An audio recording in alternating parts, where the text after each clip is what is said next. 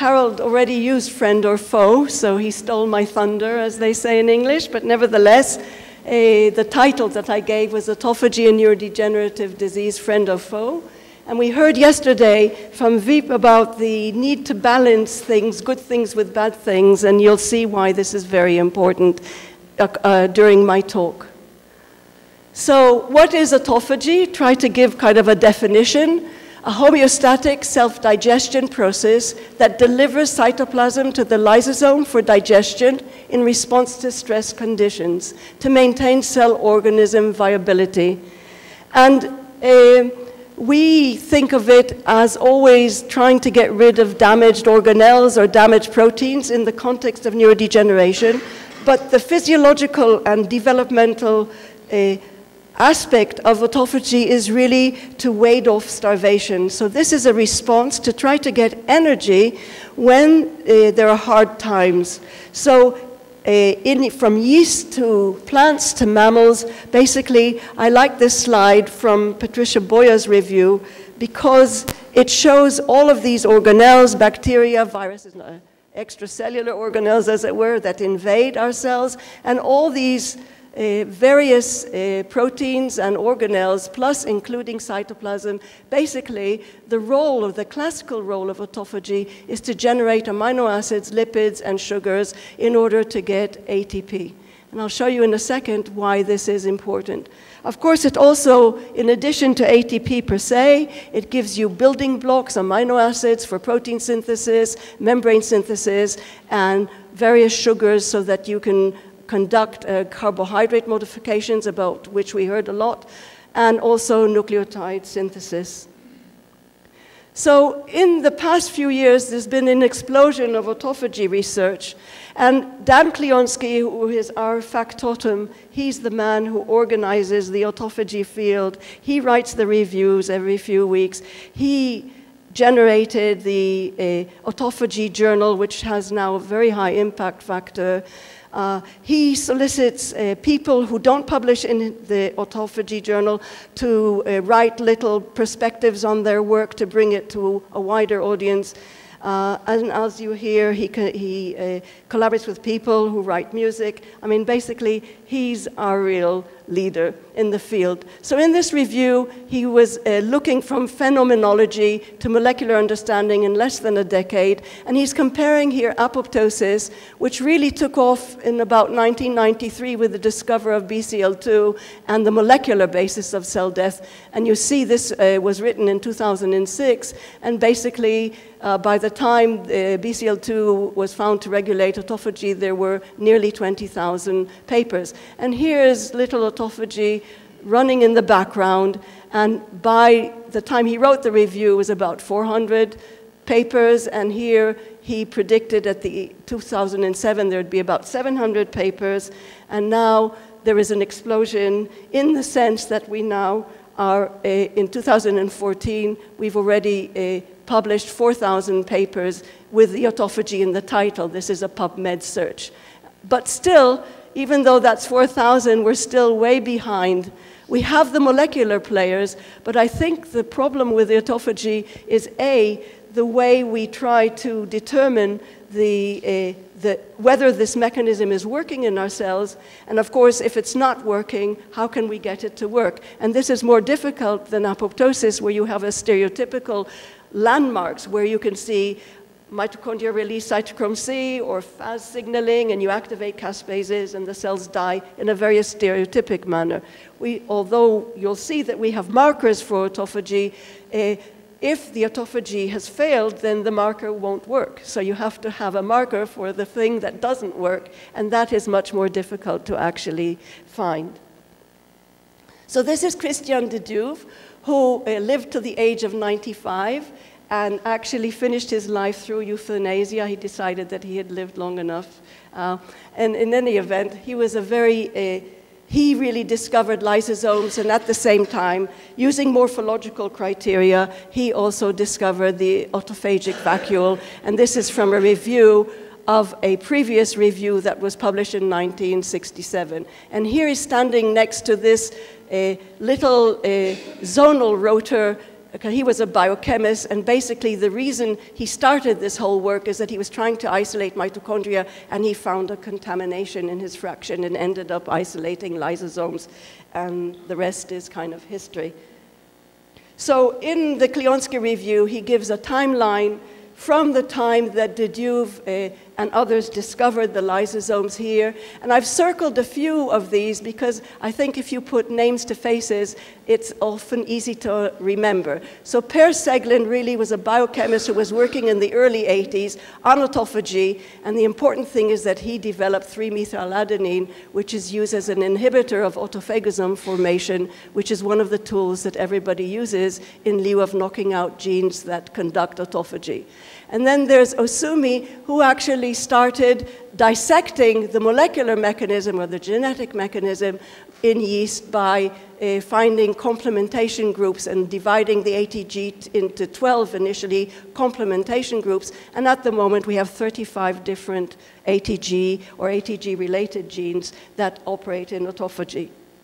And then we have Mizushima, who was a student of Ohsumi and soon, as a young man, as young as you, started off on his own uh, research and identified the mammalian homologs. Beth Levine discovered Beclin, which is a BCL2 interacting enzyme, which is very important for initiation of autophagy. Yoshimori, David Rubinsztein, I'll talk about uh, his work a bit, where he applied the autophagy to trying to clear Huntington's disease uh, proteins, huntingtin, and other neurodegenerative uh, disease that have protein accumulation in them.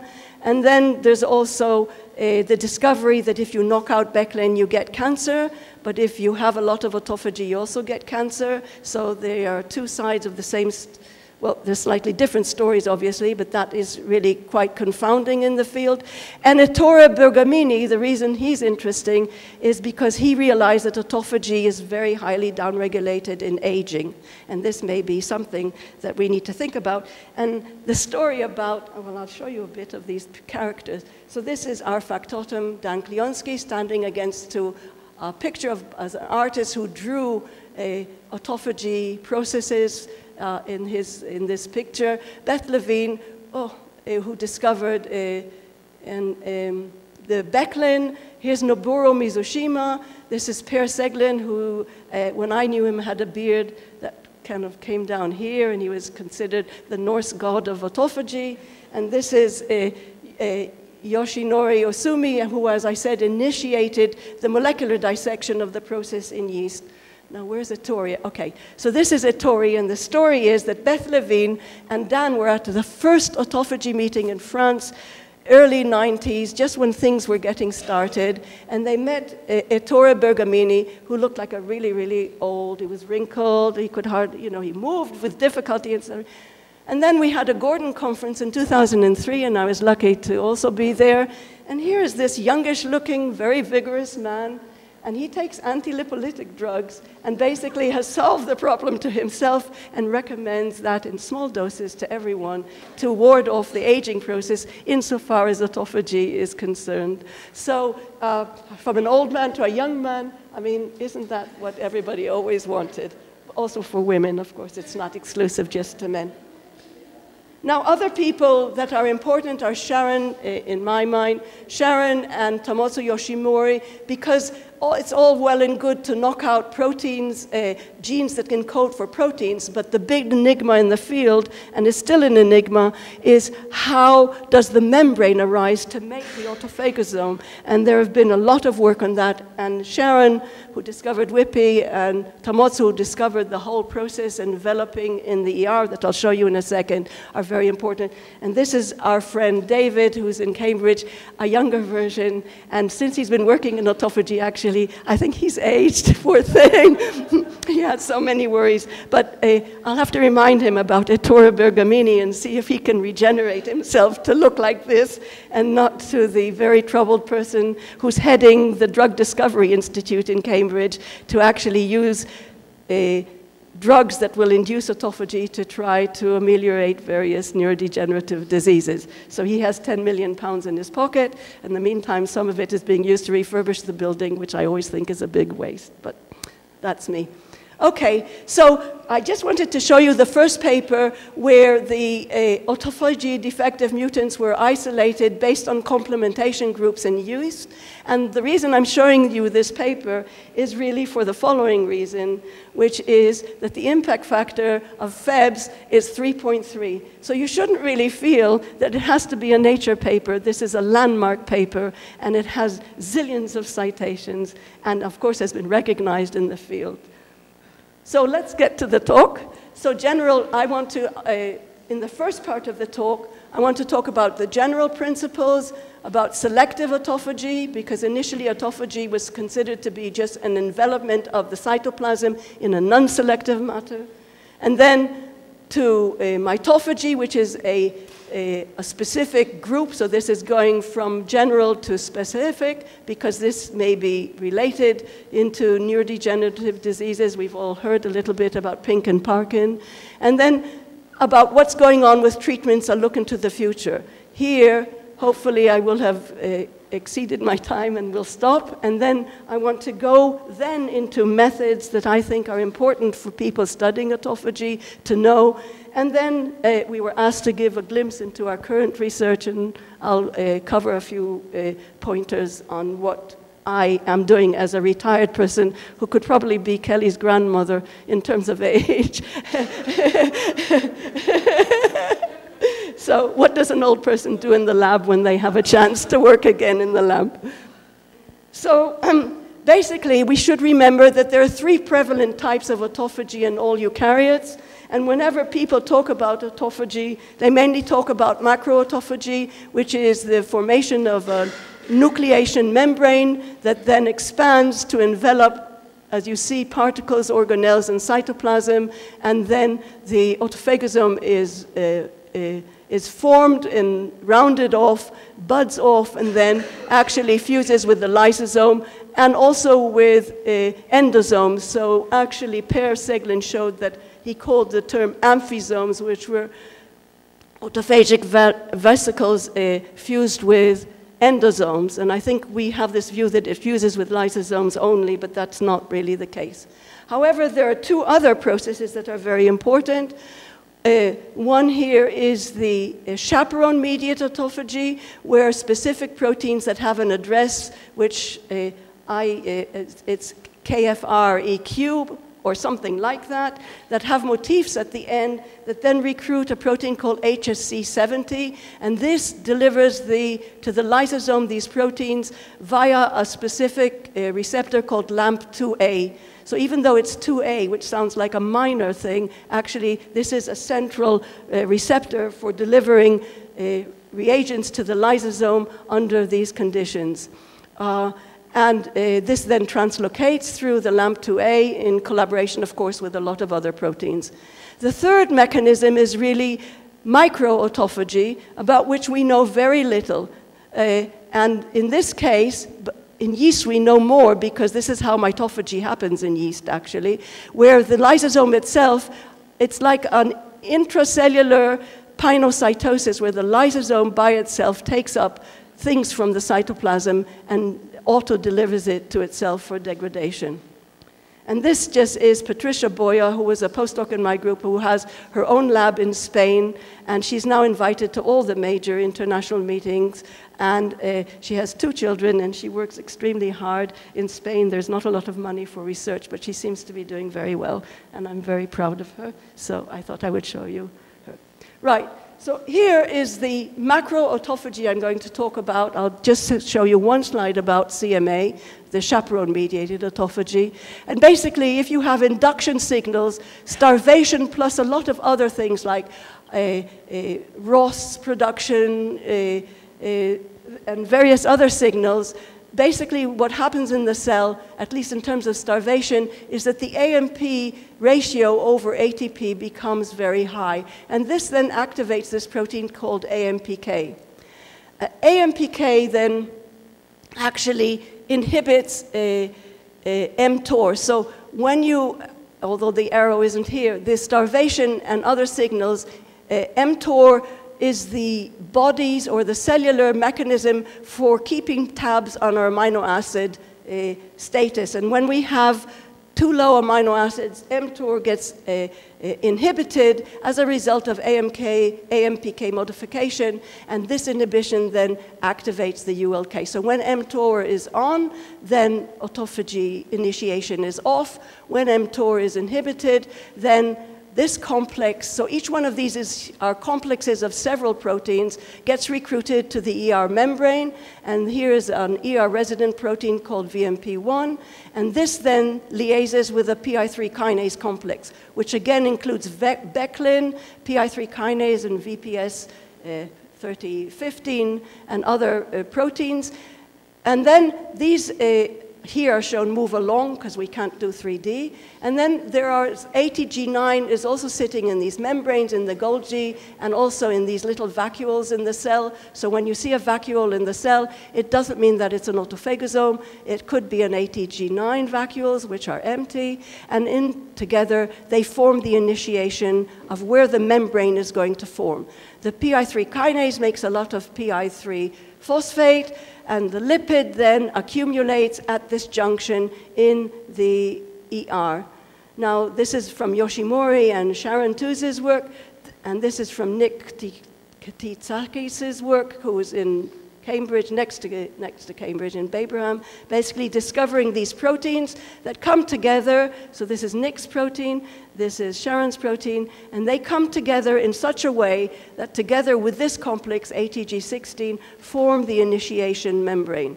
And this then folds into the ER, and this is known, uh, Nick actually coined this phrase, an omegasome, because you see these omega profiles as a result of this, then the membrane grows in a mysterious matter, manner by delivering lipids and preformed membranes. I mean, membranes are formed usually from membranes in the cell, but then a lot of membrane gets budded and recruited as a result also of LC3 being recruited to the membrane, and you end up with an autophagosome that buds off. Now, I mentioned that each one of these are complexes, and the following is not to go through the paper, but just to show you what I mean by complexes.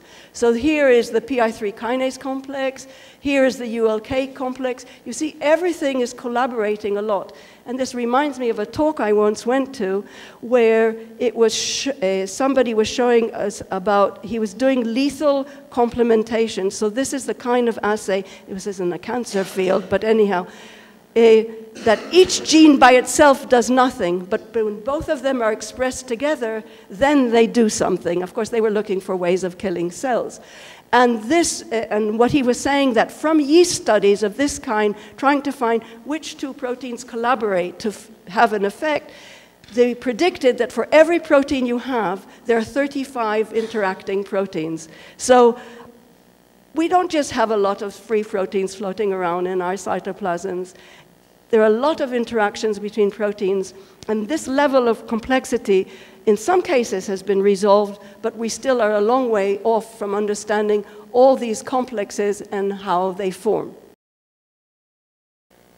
So I want to highlight this because this is really uh, Ohsumi's uh, main finding with Noboru and Tamotsu uh, after he's shown the complementation groups, there are also ubiquitin-like processes or ATG conjugation systems that are extremely important for leading to this key protein, here is called ATG8, which really is LC32 in mammalian cells, which is the marker that everybody uses to follow autophagy these days. And what I want to impress on you is how this works is that you start off with a protein and then uh, you have, you form your, your first complex, let's say between ATG uh, 12 and 7, and these then form a conjugate, which activates the donor to actually pass on. So this is like a relay.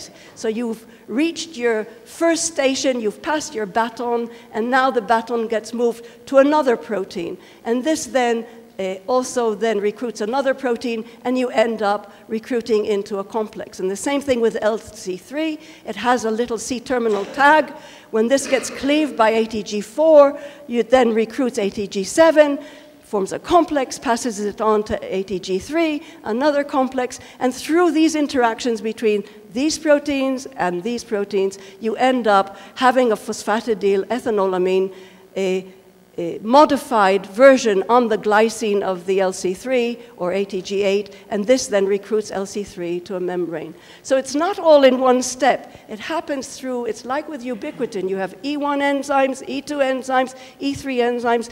Here you're passing on a protein, but it's still, for each process, it's open to regulation. And we know that in biology, when you want to regulate a process, which makes it so complicated. Basically, you put a lot of steps, intervening steps. And these are obviously uh, crucial points for regulation about which we don't know very much how to intervene. Of course, you can do knockdown in animals, but that's not the same thing as intervening, for example, in the glysis. Actually, this is uh, quite a simple process, but of course, there are a lot of glysis types of.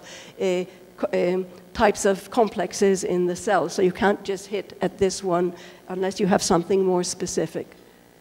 So just to mention the last bit, I wanted to mention uh, the fusion with the lysosome is a key regulatory step. Now, everybody uses bafilomycin A1, which I'll get to later, as an inhibitor of lysosome autophagosome fusion. But actually, that's not sufficient. The role of bafilomycin is to deacidify the lysosomes, and then the enzymes don't work. So what uh, Noboru discovered with his colleagues actually that there is also a mechanism that enables the fusion between the autophagosome and the lysosome, and this involves various proteins. I just wanted to show also that a sugar modification now can uh, replace or modify one of the uh, proteins and thereby actually also prevent the process of fusion. So the fusion isn't just willy-nilly, the two come together and it happens as a miracle. Actually, it's highly regulated by these syntaxin proteins, which are specific to endosomes and lysosomes. So now we've completed autophagy, and I thought I'd give you a little bit of a, a glimpse using this, uh, if it works. How do I get this movie to work? Work work. Doesn't work. There. Okay. And this is LC3 in green, lysosomes in red. These are cortical neurons in culture from male mice that have been starved. And I'll, you'll see why male later. And this is a film showing the fusion between LC3 positive autophagosomes with red lysosomes. And when they fuse, of course, the red color will they'll become yellow So let me show you this. And if it plays,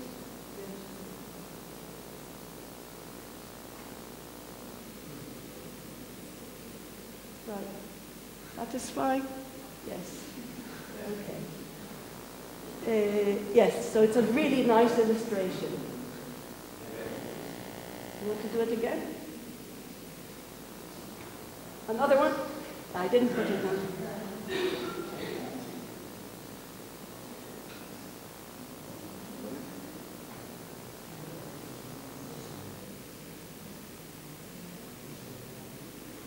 Okay. So, I was telling you that autophagy is very important to ward off starvation. And it turns out that embryos of ATG5 knockout mice, so this is a key protein that is involved in transforming the LC3 to a lipidated form, which is absolutely essential for LC3 to go into the membrane of the autophagosome and enable the autophagosome to grow. You see that the pups are more or less normal, but you notice that here the wild type pup has a bit of milk in its yolk sac, and this embryo, the ATG5 knockout, doesn't. And in fact, it has severe feeding problems that until now, it's not really understood why that is. And, but you can hand rear them and feed them, and then they'll grow past that starvation phase. So it turns out that if you look in the knockout, you see that the amount of total amino acids, uh, and also essential and also branched, side branched amino acids like valine, isoleucine, and leucine, you see that there are lower levels of these in the ATG5 knockout compared to the wild type. And indeed, you remember I said that AMPK is a kinase that regulates mTOR and starts off the formation or the activation of the autophagy, you see that in the knockout, uh, 10 hours after the birth, you see that the AMPK is phosphorylated, showing that uh, uh, uh, there is a starvation, a severe starvation problem.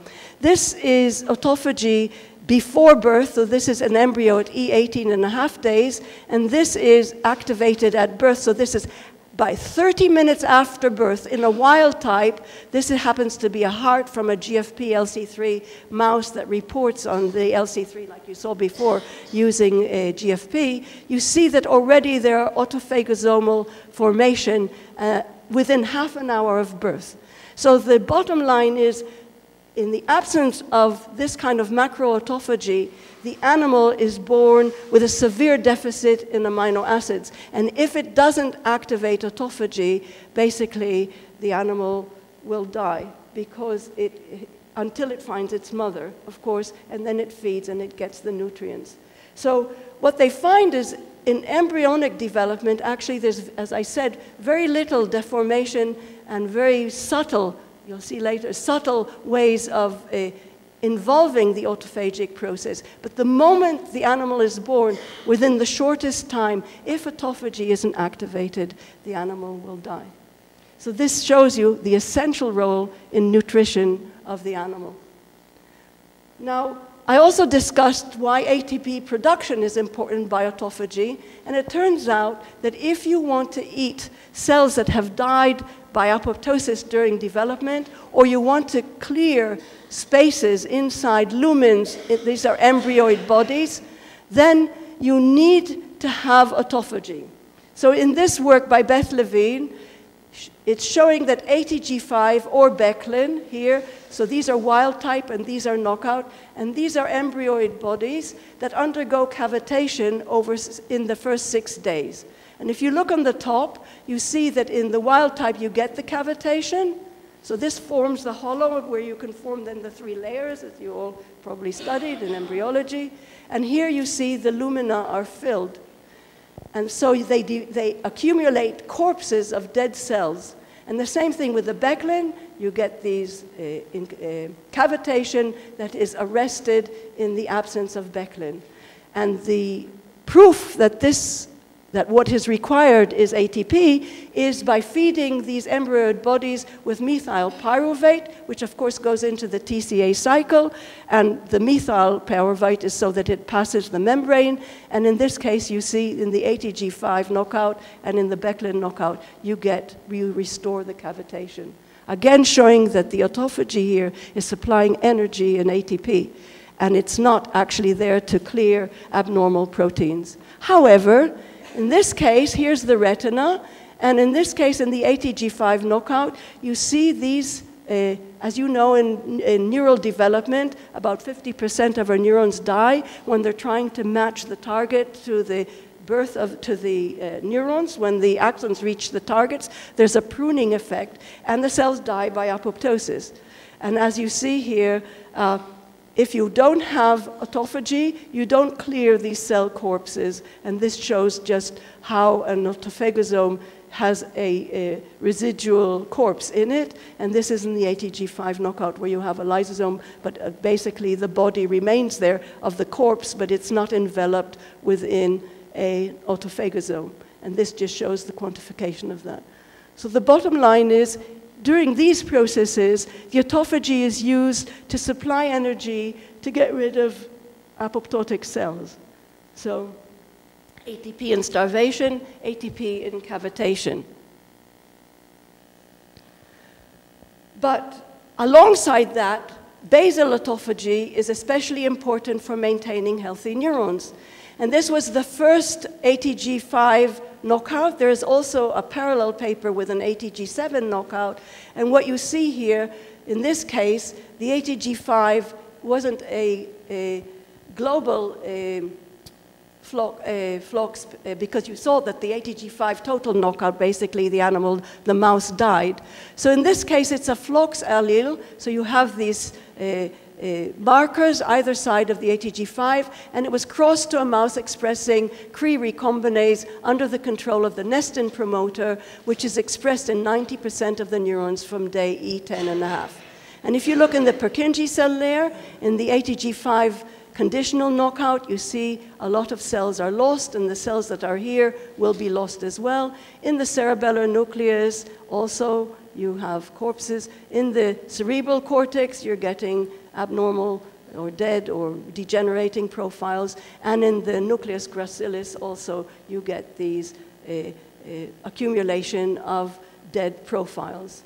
So this is just proof that the ATG5 was knocked out. This shows that there's no LC3-II, which is the lipidated form, and this shows the difference in the animals just as a result of knocking out the ATG5 in neurons. So it's obviously especially important to maintain the viability of neurons, and this is without any necessarily overtly degenerative processes. However, if you look down here, you see this is a ubiquitin profile of cells in the thalamus, the pons, the medulla, or in DRG neurons. I'm showing that because that's what we work on.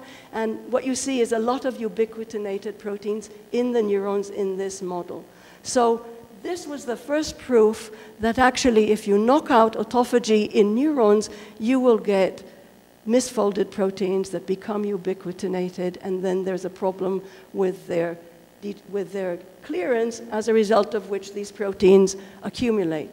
Now, I've never seen a follow-up study which actually shows which proteins are ubiquitinated, but one of them that was mentioned that I'll go back to is P62, but it's not, which accumulates in TDP, 43, in FUS, in a lot of different uh, proteostatic types of mechanisms. This just shows also that there was a behavioral deficit. So this is a stride, uh, uh, I don't know if anybody here has done this, so you paint the feet with different colors and you put them on a piece of paper and they walk and they leave an imprint. And you can measure this distance, this distance, this distance, this is front legs and hind legs, and therefore you can get a whole set of stride measurements. And in the floxed animal, you see the animal basically has it like almost like a form of Parkinson's disease, although you see that the ubiquitination is widespread in various nuclei, including the thalamus, which never seems to have any overt pathology in a lot of neurodegenerative diseases, which is why I was asking uh, Kelly.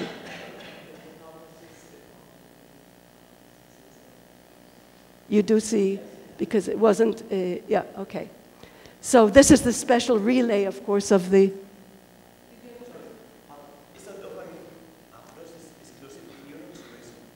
No, I, heart cells in the previous total knockout, you remember?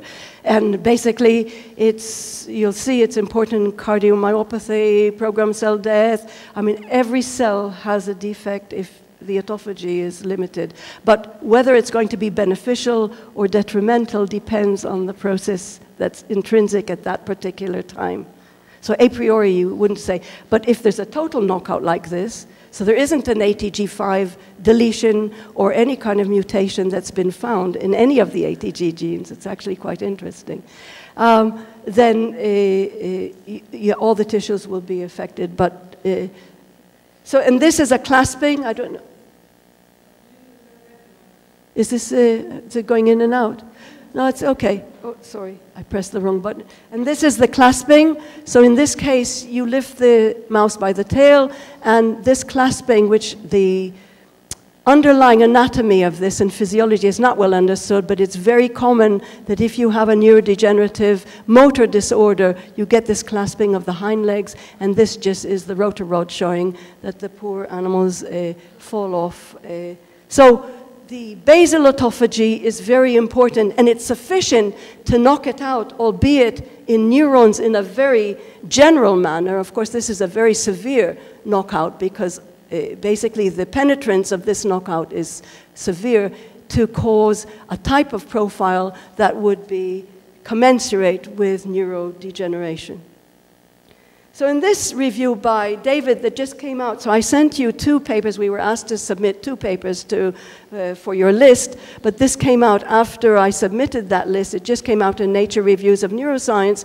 Basically, he's going through the various steps in the macroautophagy and also in the lysosomes uh, themselves and what I've highlighted with these bars, with these uh, boxes, are different diseases. So ALS, HD, heredity, spastic uh, paraplegia, PD, and here you see that uh, in many of these processes, or in, in each of these processes almost, there are either genes or allied genes or processes that go awry uh, in, uh, uh, in, in, various neurodegenerative diseases. So there's good evidence that during neurodegeneration, not only is there basal autophagy is important, but actually there are specific genes that modulate different steps of the autophagy process which actually are involved. Of course, we know that a lot of PD, or most of PD, most of AD, are uh, uh, are sporadic, and whether they're sporadic because we haven't found the genes or that they haven't, we don't have this lethal complementarity where you need two knockouts in order, or two defects in order to get the defect. But in any event, um, this just illustrates the fact that there is good evidence, and the review goes through this in great detail, and it's a very intelligent review. I recommend this to read. So the question is do they drive the disease, or do they stem from the pathogenic event? And we heard about this WIPI 4 here uh, from Vanya when he was talking, because he was talking about his iPS cells, where he was doing this is this beta propeller protein associated neurodegeneration, which he called WDR45 as usual. There are always several names to this, regulates learning and memory function. So it's enough to have a gene defect in something that is associated with initial events in autophagy. So, and also there's now just appeared a paper, not recently, potential function for the huntingtin protein as a scaffold for selective autophagy. So it may be that in some cases, the autophagy process or the defect in the autophagy process is driving the neurodegeneration, and it's not just a response to other events in the cell that have caused the autophagy to go from bad to worse. So this is Ana Maria Cuervo, and I have to show her work because she is a champion of this uh, chaperone-mediated autophagy. And what she's found in alpha-synuclein, this UCHL1 and LRRK2, which is uh, also there are mutations in this associated with PD, so Parkinson's disease, that impair the CMA process, and she's also found a similar sequence or two sequences in tau. So to her mind, or what she's trying to stress in this review is, hey, it's not only macroautophagy, this chaperone-mediated autophagy is also important, perhaps in the context of these diseases. So if this, my feeling is, if this is true, one might expect accumulation of the proteins in the same cells, because the cells have tau, they have alpha-synuclein. How often, though, does this happen? I think the disease patterns suggest that this isn't necessarily the case, but of course you could argue maybe it's the abundance, because the amount of LAMP to A would be limiting, and therefore, the more you have of alpha synuclein, the more likely that that will be the phenotype of the disease. And maybe the more you have of tau or different conformations of tau, that would dominate the disease. But the possibility that they both coalesce, or, you know, is rare, I think.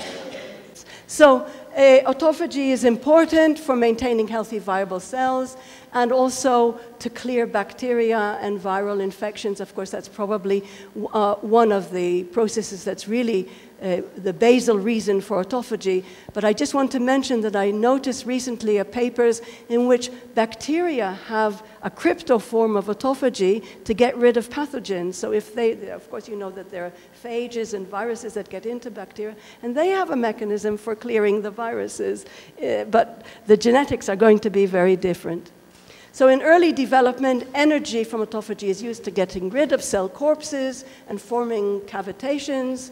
Newborn mice need autophagy to survive the period of starvation before they obtain nutrition from their mothers.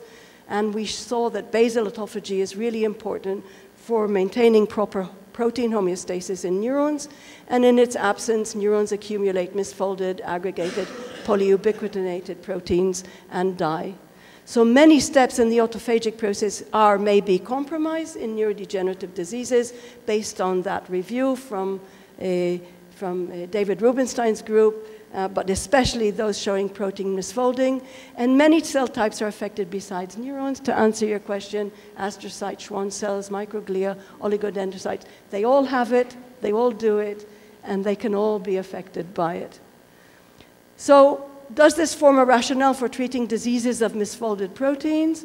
Um, uh, via autophagy. I mentioned that such tests are going on, and in the end, I'll tell you about some trials that are going on. And then, what about aging? Because, of course, a lot of our neurodegenerative diseases are allied to aging, and I gave the example of Bergamini as a resurrection process just by taking anti lipolytic drugs in small amounts. Right. So, as I said, uh, Dan Klionsky is this polymath. he believes that teaching autophagy can be done using several different mechanisms, and this is quiltophagy. So somebody made a quilt where each step in the process is, uh, has a different color and also has different texture. So you can come and stroke this quilt and you can study autophagy by stroking the quilt. So, so that's the end of my first section. So let's go through selective autophagy. I want to run through this quite quickly. So every organelle that people, or not even organelle or molecule, uh, has the possibility of being cleared by autophagy. In some cases, there's a lot of factors that are involved. In this case, as you see, a lot of factors that are involved in mitophagy. Uh, in some cases, we only know about one or protein, and in many cases, it has been observed morphologically, which is the source of autophagy, really, our morphological characterization of double membrane structures, but the processes are still unknown. So here you have a large bed of uh, research that still remains to be done for anybody who wants to get into the autophagy field. Right. And I just want to stress that out of all the proteins, you see that P62 is the one that seems to be fundamental to all these processes. And I suspect that this protein will also be involved in other processes. So it is a very important marker, which I'll get to in a second. So um, this is a list of P62-like proteins. So when P62 was uh, discovered to be recruited to ubiquitinated proteins or organelles. It was analyzed carefully, and it was found that it has something called a LIR motif. so they have one or more LC3 interaction motifs called LIR. Some people call them AIMs. And most have also a ubiquitin binding motif. So this is a protein that can grab, on the one hand, LC3 with its autophagosome, on the other hand, it can grab a ubiquitinated organelle or protein and bring them together. And this family is an expanding family, and it's interesting that these ones in blue are all also involved in mitophagy.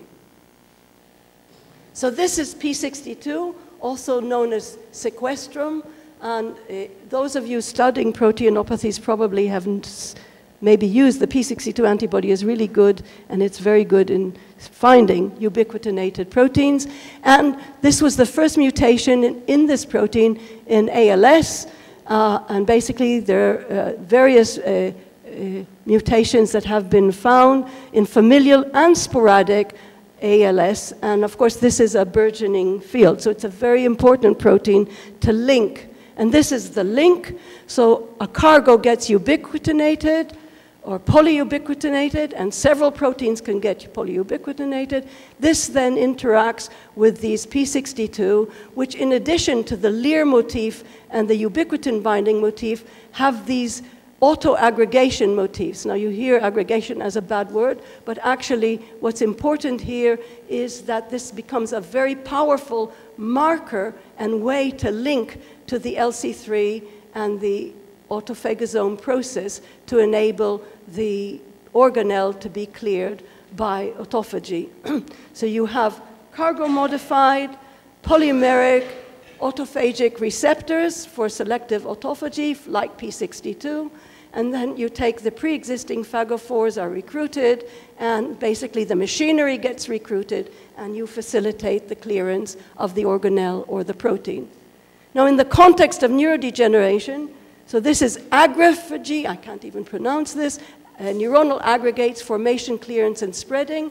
A nice review from Zhenyu Yue uh, that appeared uh, this year, and what he's showing that in addition to all these motifs, to strengthen this interaction even further, the P62 and optineurin are modified, and these proteins were also in David's review in the, one of the neurons. So you see that the aggregate accumulates a lot of these different kinds of proteins to mark it as, not to market it, but to mark it as a cargo that is destined for degradation. And the uh, cells have a very powerful way of doing this.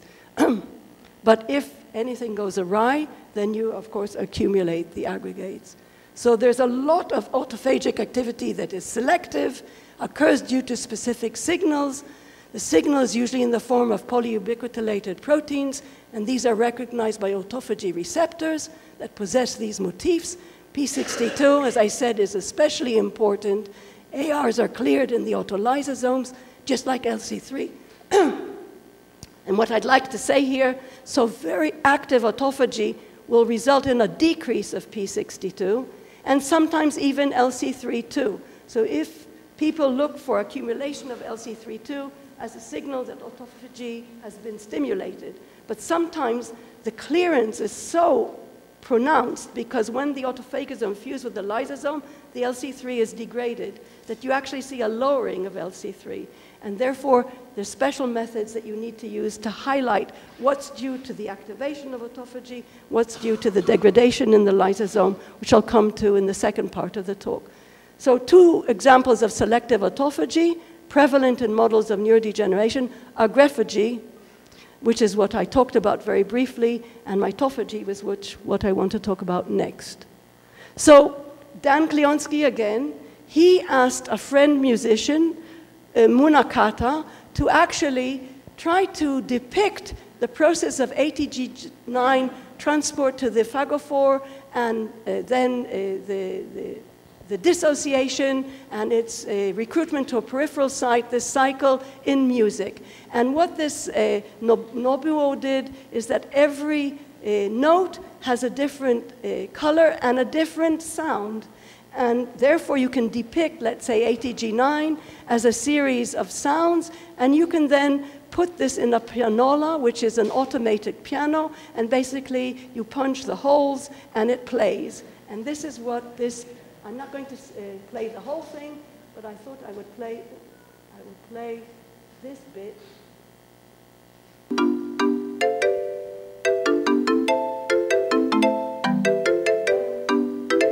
It's quite nice.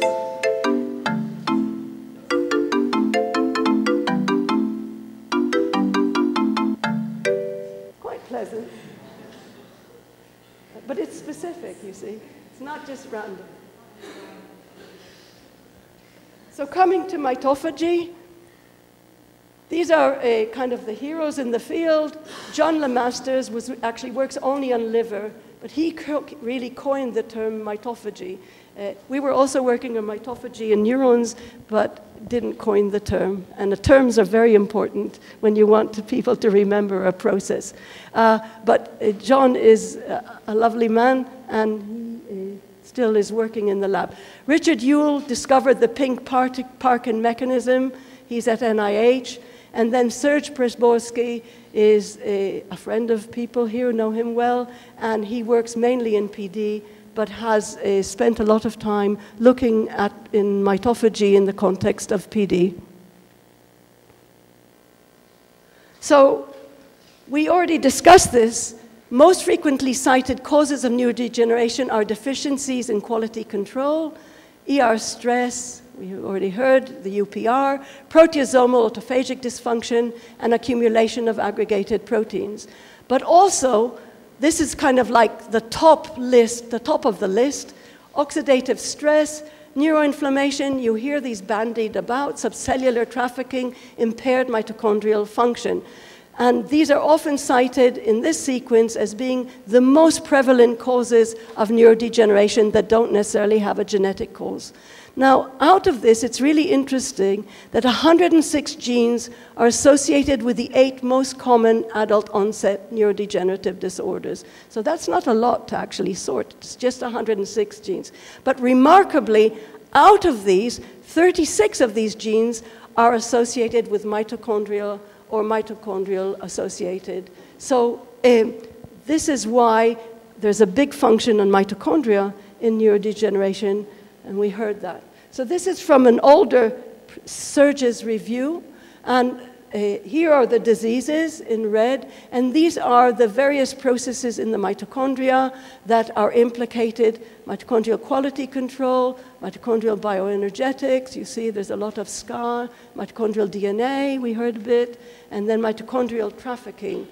And I want to really talk about the mitochondrial quality control and the mitochondrial trafficking in the next few minutes.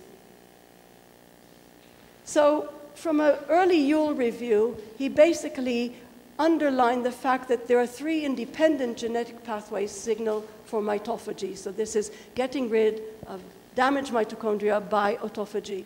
This is in yeast, and the ATG32 was discovered by Dan Klionsky because they discovered mitophagy in yeast. And what was interesting was that we tried to put ATG32 in a humanized form in mammalian cells, and it did absolutely nothing. And then the model of pink Parkin induced mitophagy, where the damaged mitochondria stabilizes pink on the membrane, that recruits Parkin, and these become then ubiquitinated and targeted for degradation. So I want to go through this in a little bit more detail. Pink is a serine threonine kinase with N-terminal mitochondrial localizing sequence. It's continually delivered to the mitochondria and degraded in the mitochondria. Patients with a pink mutation, of which there are several sites here, I won't talk about DJ1, uh, show reduced complex 1 activity, increased oxidative damage, and in the pink 1 knockdown, increases neuronal cell death with complex 1 inhibiting neurotoxin treatment. And that's reversed by pink overexpression, and therefore pink plays a functional role in the protection of mitochondria. Parkin, also known as PARK2, is a classical E3 ubiquitin ligase, and it's responsible for ubiquitinating proteins on the mitochondrial membrane, and its expression complements the loss of function PINK1 mutations. So if you lose PINK1, but you add active Parkin, with enough Parkin, you can uh, overcome the loss of the PINK1, and therefore it's downstream in the process. And it ameliorates the defective mitochondrial phenotypes induced by PINK1 deficiency. So this is Parkin, and here are some of the mutations. This is a bit old, and of course now some more have been found. So PINK1 is a kinase, and Parkin is a ubiquitin ligase.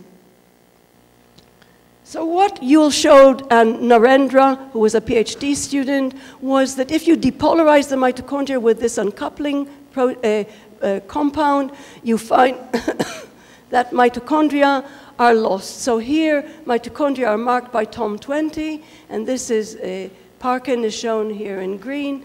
And as you can see, by 48 hours, uh, basically the mitochondria that had, that were signaled by TOM20, I mean, there's no staining in this, the, uh, here in these cells. So in any event, the mitochondria are deficient, they have no cytochrome C, no other markers, but the peroxisomes are okay. So this is specific to mitochondria when you depolarize them. In this figure, you just see mitochondria enveloped by LC3, positive uh, GFP LC3. And in this figure, you see that the loss of mitochondria causes an increase in lysosomes. So this is before the uncoupler, after the uncoupler. And basically uh, the number of mitochondria, as it decreases, the number of lysosomes increase. So, uh, and this is just the number of mitochondria with LC3. Um, and therefore, it's clear that Parkin is recruited selectively to mitochondria, and it is these mitochondria to which Parkin is recruited uh, uh, that then go on to disappear.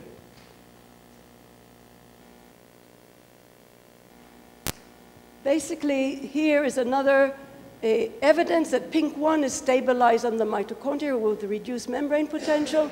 So this is PINK1, and if you depolarize the mitochondria, here are mitochondria labeled in advance. So, and you see that within 40, 50, 60 minutes, uh, PINK1 is stabilized. And so when you depolarize the mitochondria, PINK1 is stabilized, Parkin is recruited, it ubiquitinates a lot of proteins on the surface, and basically this then promotes the mitophagy.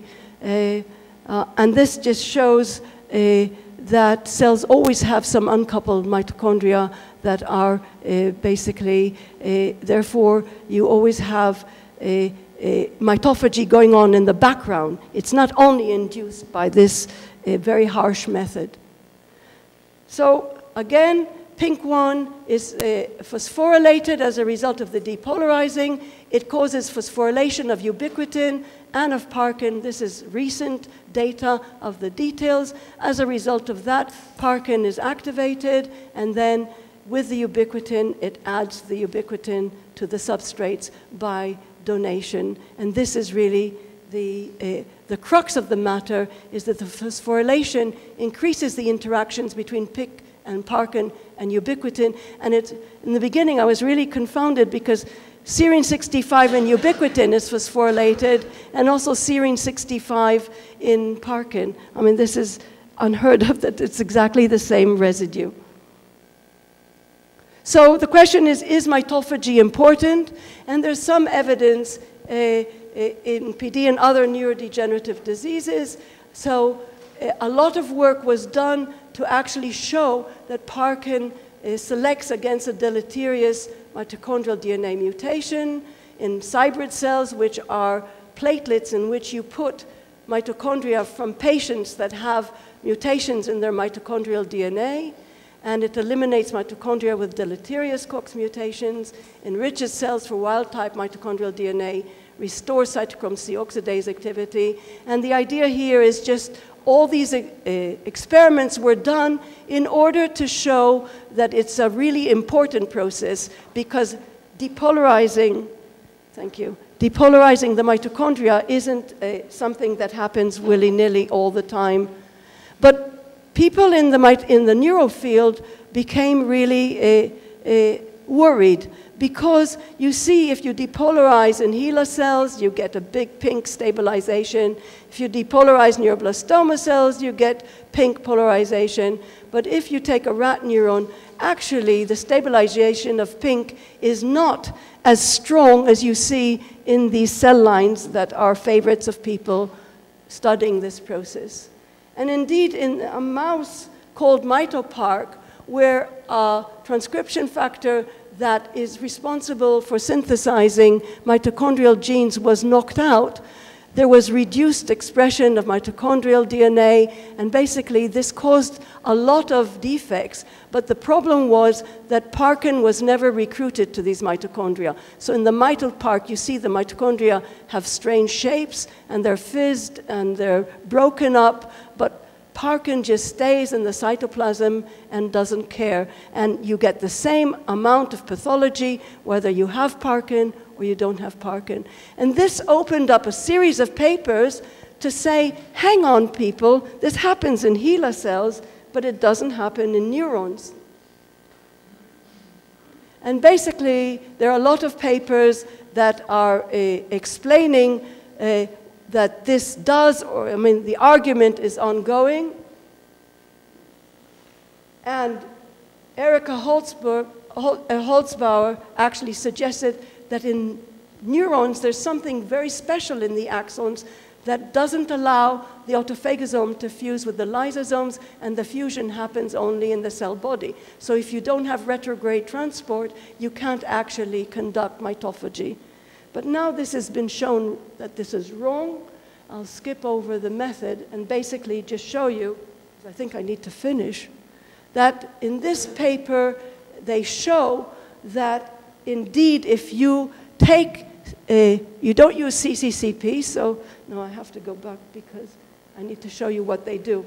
They express a mitochondrially target KillerRed, and they can target a specific location in the axon with a laser where only the mitochondria in these regions will be depolarized. So it's not like doing a whole global depolarization.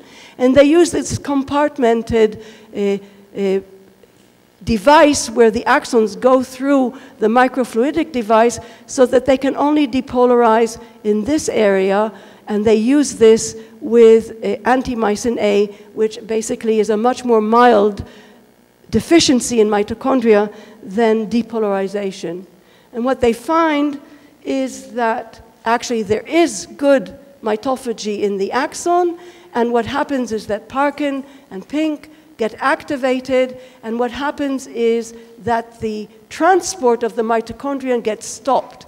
And so these proteins that are involved in transport are dissociated from the mitochondria, and this then sequesters the damaged mitochondrion in this location, and as a result of that, there's enough time for the autophagosome to actually form here, and indeed they go on to show that it's uh, cleared with the lysosome. So there's nothing wrong with mitophagy in the axons, despite all the literature, but I think it depends again on the way the experiment is set up.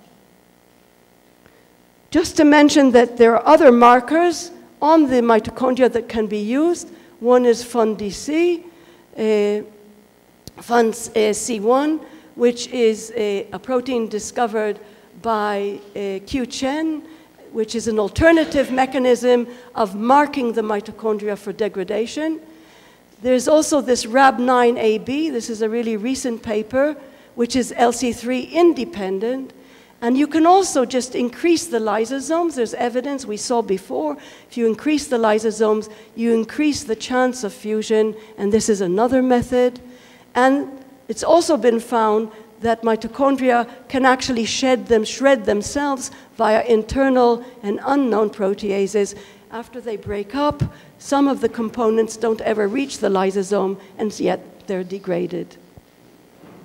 So I think I'll end here. So mitophagy is a way of getting rid of defective mitochondria, and the mitochondria are recognized by sophisticated autophagy receptor coupled systems. The pink Parkin system has been highlighted due to mutations causing PD, but there are other mechanisms like FUNDC and NIX-BNIP3 that although those are used in getting rid of mitochondria and red blood cells, are also recruited to neurons in certain situations, neuronal mitochondria. So in diseases by, of mitochondrial DNA mutations, mitochondrial clearance is very important for cellular viability. That's very clear based on all those fusion and types of research. In the nervous system, there's a consensus that mitophagy is important, but it's not always been easy to prove especially in the nervous system, or whether pink Parkin systems are involved. And this recent paper just came out before we came to the meeting, and this is in C. elegans showing that there's a coordination of mitophagy and mitochondrial biogenesis during aging, and if this doesn't happen and the feedback between the two don't happen, uh, basically the C. elegans doesn't survive. So it's a very important process and just to have another bit, so this is macromucophagy. So Dan Klionsky has made, together with his collaborators, a dance where reenacts the autophagy. And this woman has written this music, which I think is less pleasing probably than the other one. So, if you're frustrated in the lab because of you can't see your autophagy, least you have macromucophagy to keep you calm and uh, basically uh, recover your disappointment because everything in science means that disappointment. Like phoenix from the ashes. You rise again and you repeat your experiment or you think of a new way of doing it that will bring you the desired results. So this is just a little bit about treatment, a look into the future. And we heard from Vip, who's uh, uh, gone back to the Amsterdam uh, because she has another meeting, that finding the right balance. So instead of using an elephant, I'm using this image because I thought it was quite neat.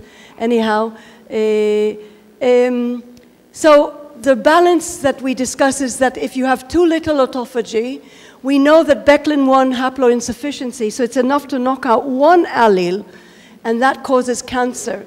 So, there, so in the mouse, when they knocked out uh, Beclin, and also Zhenyu Yue did the same thing with uh, Nat Heintz. You see in the lung, in the liver, in the lymph, you see horrible cancers that arrive, arise. So it's enough to just knock out just a bit of the Beclin to get uh, really serious cancers. You get proteostasis, which we've already discussed a little bit. You get muscular dystrophies, and you also reveal toxicity of beneficial drugs. Now, somebody here was working with olanzapine, I think, or talking about dopaminergic neurons. And a recent paper, I didn't bring the reference, shows that if you block autophagy, then you reveal that olanzapine actually has a toxicity associated with it. And you know, people are being treated with olanzapine for Parkinson's. And so uh, one has to be really careful that even drugs may be, for some reason, if you block the autophagy, you accumulate toxicity. Too much autophagy can also cause cancer, and this is a big argument, not argument, a discussion in the field. Again, there's a balance between beneficial and, uh, and other effects. There's huge muscle, muscle wastage if you increase autophagy, and you also get autophag, autoph autophagic cell death that I'll talk about in a second. So this is from uh, Sandri and Bonaldo's work, and what they show is a healthy muscle needs to have, uh, this is if you have, uh, these are uh, mice that have collagen 6 uh, deficiencies, which is a certain type of uh, dystrophy. So activation of autophagy is beneficial in this cases to get to a healthy muscle because the autophagy is insufficient. But in this case, there's too much autophagy, and uh, basically you need to dampen the autophagy in order to get a healthy muscle. And as I mentioned, muscle specifically is a very, uh, autophagy is very important there to keep the balance right. So autophagic cell death I'm interested in cell death, so this, of course, caught my eye back in the 90s when Peter Clarke, who was in Lausanne, who's actually a physicist who decided to become a biologist, was looking at chick cell, cell uh, uh, brain cell death in the uh, nucleus. And he wrote this really beneficial, uh, uh, um, influential review where he revised, based on morphology, what kind of cell deaths do you see in development in the chick. So he noticed something that was apoptosis, and you notice that this was before BCL2 was even cloned. And then he called this type 2, where he called it autophagic degeneration, and uh, there was a non-lysosomal vesiculate degradation. And the, there have been very important reviews saying, is this degeneration with autophagy, namely it's a byproduct of the degeneration. It occurs concomitantly, but it's not causal. Or is this really the cause of degeneration? Some of this has been resolved. For example, in this paper from Beth Levine, shows that too much autophagy activation causes cell death. So here's hyperactivation of autophagy. And what she called, she actually made a Beclin form of a peptide that's uh, allied to a sequence called TAT, which somebody mentioned here, of these cell permeable peptides. And you get a kind of a really necrotic degradation. And it turns out that this is because the sodium potassium ATPase works very hard gets rid of all the ATP, and the cell swells and necroses. Because if you put in a cardiac glycoside like ouabain, and you block the sodium ATPase, you actually rescue the neuron. So it's not really an autophagic cell death per se, but it happened as a result of excessive autophagy because you've used up all the ATP. And if you block the sodium potassium ATPase, you can rescue the cells. I don't know how common this is. But this is some of our work Also, I don't know how common this is, but in any event, these are sympathetic neurons that depend on NGF for their survival. And we were using caspase inhibitors because they die as a result of apoptosis when you withdraw NGF. And just a few neurons are left here in the dish. Um, but if you inhibit caspases, you delay the cell death process, and we were interested in this window of opportunity to see whether we could rescue these cells. And what you notice is that the neurons become smaller and smaller and smaller and smaller. So we looked to see in EM what happened. Lu Zhengzhu was looking at this and found in the EM, you can see the ER is perfectly intact, the Golgi is perfectly intact. We discovered that these neurons have centrosomes, and I didn't even know that, because of course that's essential for cell division. And these are post-mitotic cells. But we had these horrible lysosomes, end-stage lysosomes, and we couldn't find mitochondria. So from a state where you start with a section in an EM that has like over 10 mitochondria for, per section, you end up with this, uh, in this state, with 60 to 50% of the cells in which we couldn't find a single mitochondrion. And this also shows that at the same time, what you get is that in the presence of NGF, you have very few autophagic profiles per cell. In the absence of NGF, you get a lot of profiles. So this is the number of autophagic profiles. And this is with minus NGF in the presence of the caspase inhibitor, where you can keep the neurons alive for very long. And this is an inhibitor of autophagy with 3MA, and here you can rescue the phenotype.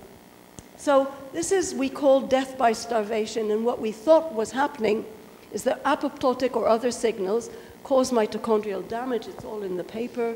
And basically, the choice is that they activate caspase and they execute apoptosis. If you inhibit this process, then the mitophagy really takes over, and you end up with cells that starve themselves to death. So the ATP isn't sufficient, we show in this paper, to generate enough proteins. When there's not enough protein, you lose oncotic pressure, for those of you who remember your physiology. The water moves out of the cell, the cell shrinks to meet the, uh, uh, the, the, the correct homeostasis. And basically, if you follow these single cells, they become smaller and smaller, and then they come to the point where they can't survive any longer and maintain their viability. So if you add back NGF, they're no longer capable of living. So we called this, because everything needs a name, we called it limoctonia. I went to the library and asked, oh, do you have a Greek-English dictionary? I need a name to call the process. And the only one who likes this still is Christoph Gommens, who was in the lab at the time, but it never actually uh, uh, became an acceptable term for death by starvation. So, is neurodegeneration, so that's that part, a proteinopathy or a dysfunction of autophagy? And there are now papers that are appearing that in which there isn't any evidence necessarily for proteostasis, namely protein aggregate aggregate accumulation or dysfunctional organelles per se, where autophagy is protective. And therefore, I think that uh, it could be that dysfunction of autophagy is a leading cause of a disease rather than a byproduct of the disease. But of course, this needs to be shown in every single, uh, uh, in every single situation. Um, of course, in aging, uh, from Bergamini, I already mentioned this as a risk factor for all of the neurodegenerative diseases. So people, nevertheless, are trying to use compounds to activate autophagy in neurodegenerative models. And as long as they're non-toxic, I guess there's no harm. So trehalose was used is in clinical trials for vascular aging. And this trial is still recruiting. This is from the government list of trials. But in the dish or in the mouse, uh, basically it's been shown to reverse Parkin knockout deficiencies, transgenic tau models, transgenic tau cell models, uh, transgenic uh, TG mice from Michel Goedert's lab, SOD1 models, and also in a model of alpha-synuclein delivery in the rat. So here are papers, and trehalose is a dye sugar, it's like sucrose, but it's a different sugar. and it's used, um, it's not very tasty, but uh, oh, now I should stop tasting things in the lab. But anyhow, it, it, it, activates autophagy, and that was shown actually by David Rubinsztein. Rapamycin is, leads to inhibition of mTOR, and I explained to you that mTOR is the fulcrum through which funnels the initial signal to autophagy and has been used in many cases, especially the blood-brain permeable, sorry, form CCI-779 that you can get hold of if you bug the drug companies has been shown to work in several cases, uh, also in synaptic pruning and other situations. Now, real, uh, and uh, of course this is an immune suppressant and uh, this, somebody mentioned this, that if a trial fails, then people give up. And therefore, when David and Roger Barker got together, they decided not to use rapamycin in a clinical trial for HD, but to use rilmenidine, which is uh, something that is used to treat blood pressure, an alpha 2 antagonist, and uh, they have a clinical trial ongoing uh, in Cambridge. And then in this case, lithium carbonate also activates autophagy. Everybody knows that this is used for depression, so it's not a very specific drug. But in any case, it's now in trial for ALS, and they've already recruited 100 patients in phase two trials. And you can see in this review by Noboru Mizushima again, uh, a list for ongoing trials. Uh, and it's hydroxychloroquine is being used, but not for neuroscience research. So finally, we've seen that autophagy is heavily implicated in neurodegenerative diseases involving protein aggregation, and more widely, perhaps, in other brain disorders. What we need most of all is to untangle cause and effect. I mean, this is like my message to the planet, if I be so bold as to say that. So this is from the review that I did suggest that you read, which is very nice because it's not by somebody famous in the field, but it's a very thoughtful review showing where all the diseases interact. We've already been through this from David's review. And basically, I was struck that a, I found this Science Watch thing, I was looking online, and a Klionsky, Mizushima, and Ohsumi have been suggested, I don't know by whom, as Nobel, possible Nobel Prize winners for elucidating the molecular mechanism and physiological function of autophagy. So that's the end of my first part, and we were supposed to break then. Okay.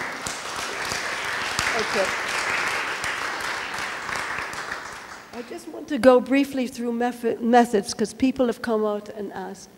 So here's a paper Western blot analysis of spinal cords for LC3-II protein and its quantitative analysis relative to beta tubulin, nice equal loading, non-transgenic, wild-type SOD1 transgenic, SOD1 model with a G93A. And you see more LC3 and you can quantify this, but is LC3 elevated because of increased induction of autophagy or because of decreased autophagic flux?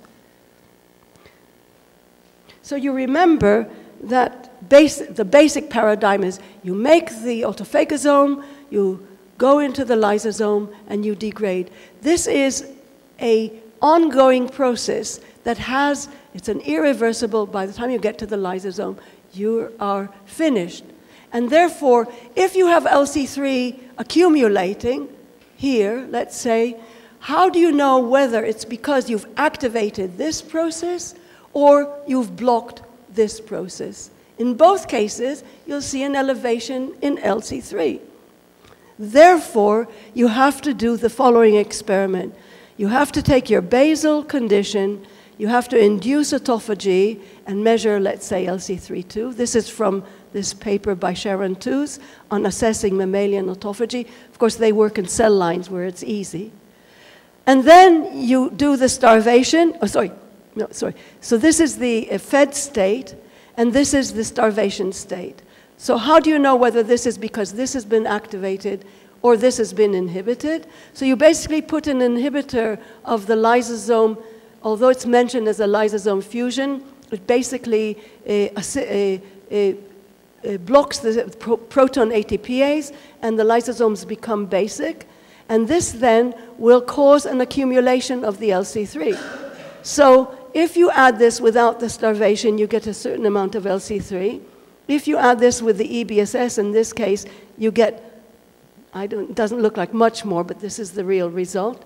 And therefore, by blocking it here, you can then say whether this step is inhibited because if this accumulated more when you added the bafilomycin inhibitor and this accumulated more compared to this, it means that the autophagy was activated because you have more of this when you starve, and you have even more of this if you block the resolution because the LC3 gets degraded in the lysosome. So here is a fed and starved. So this is by immunofluorescence using GFP LC3 and WIPI antibodies. So this is WIPI2 for somebody who asked me. So that's another thing to use if LC3 antibodies don't work. So you can then ask, so, okay, so we've resolved the question of flux by blocking this pathway. So we know if it increases here, it means that only this could have been activated. Now, another test for whether this has been activated is to use 3-methyladenine, which is cell permeable and brain permeable, or other PI3 kinase inhibitors, which block the initiation step. So between these two, blocking the resolution step and blocking the initiation step, or activating the initiation step and blocking the resolution step, you can measure autophagic flux. When you have a brain that's already fixed and you see more LC3, you don't know. Is it because this is blocked? Uh, is it because this was activated? Or both? You can't tell from a snapshot what is the process. So this is some of work that we did with polyQ. So this is exon 5, 25 polyQs in sympathetic neurons. This is exon 1, again with 97 polyQs, and you see aggregates in the neurons. And this is exon 1 with 47 polyQs, where without bafilomycin you see nothing, but with bafilomycin you start seeing some accumulation of these huntingtin exon 1 inclusions. And here's the Western blot. So without bafilomycin, with Q25 with bafilomycin, with Q97, there's a little bit more with bafilomycin. With Q47, again, there's a little bit, and there's more with bafilomycin. So clearly there is flux in the system because you get more if you block the lysosomes. But there isn't more or less actually autophagy in the basal state compared to the control. And therefore, in our model, it doesn't look as if the autophagy has gone awry as a result of expression of these inclusions. So in this paper, for example, from Patricia's work, I won't go through everything. So here she's added 3-methyladenine and what she finds again in the retina, so she was doing this work in parallel to Beth Levine, a lot more cell corpses, because you remember I told you in the retina, this is in chick retina during development, a lot of the cells die, and if they are not cleared by autophagy, they accumulate. And here she's added methyl pyruvate in the presence of 3MA. You don't see that. So 3MA can retain the corpses because you blocked autophagy, and uh, basically it also blocks, however, protein synthesis. And I'll just show you that based on our HD model, which Karen Lipkow helped us development, the, if you, um, you think about, if you inhibit, if you activate autophagy, you make clear huntingtin inclusions, but it's enough actually to do a reduction in protein synthesis to actually delay aggregation for many years. So we heard about the fact that a lot of, the, from Ronald yesterday, that the critical concentration of the protein for aggregation or filament formation, you need a critical concentration. And what we found with rapamycin, that it also inhibits protein synthesis. And we were interested what impact this would have on accumulation of huntingtin uh, uh, aggregates. And what this shows, basically, if you look, this is the model, huntingtin becomes abnormal. This then uh, accelerates the conversion of the normal huntingtin, and basically it's a vicious cycle. And what you see here, that if you block or reduce protein synthesis by 17%, you actually, this is prediction of years later, you see that the concentration of the aggregate, the supposed concentration of the aggregate, is decreased by more than 17%. And therefore, it delays the onset of the disease. You see, it reaches a steady state of less protein.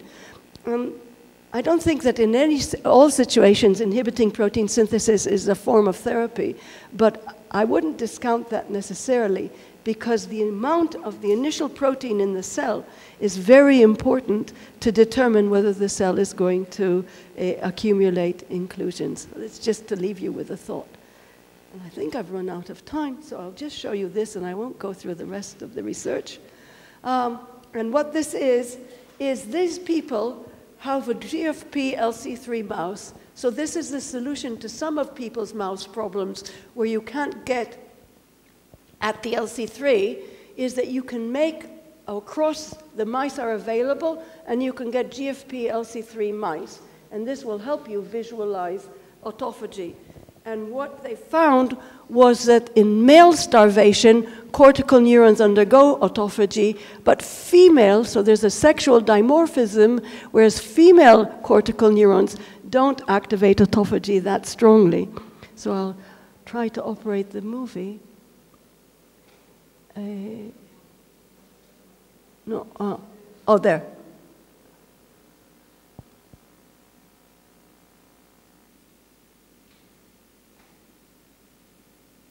So you see at the end that the male starved neurons have a lot of autophagic, well, uh, GFP-LC3 that look like autophagosomes, and you see that the female neurons really haven't activated a lot. And so we were talking a bit about sexual dimorphism, and this could be one of the uh, one one evidence, one piece of evidence that perhaps there is sexual more, uh, at least in autophagy, there may be in cortical neurons a sexual dimorphism that has to be taken into account. I think I've run out of time, so I'm going to stop here.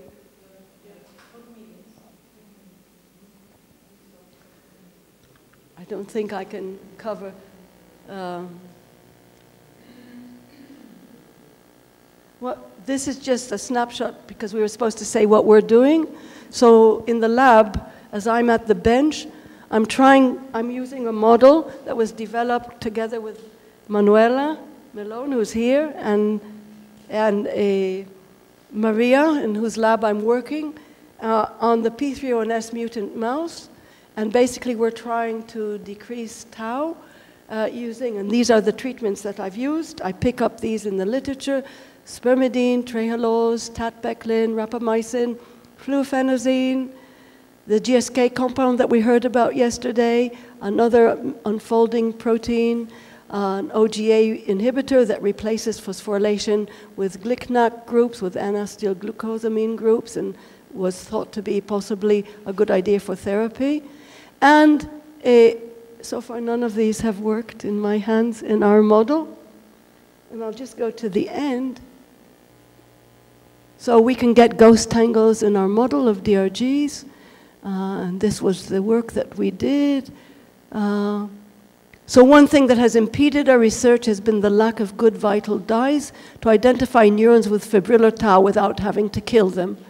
And we've just recently published a paper with Jack Brelstaff being the senior postdoc on this work, and it doesn't really come out very well here, but this is 48 hours after injecting PFTAA, this dye into the tail vein, and it picks up really virtually every single neuron. This is the front, uh, the motor cortex, the piriform cortex, actually at the level of the anterior commissure.